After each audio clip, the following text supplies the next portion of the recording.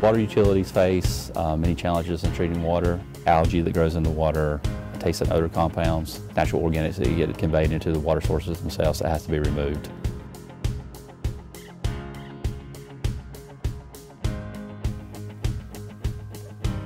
Orange Water Sewer Authority has used Ingevity's carbon uh, for my time here at the water treatment plant.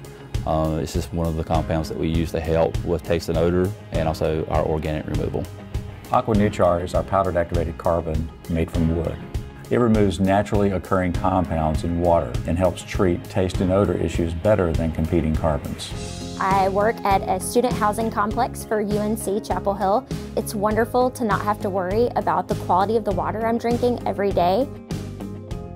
We help OWASA meet and exceed the EPA treatment requirements, which saves them money and ultimately keeps their customers happy.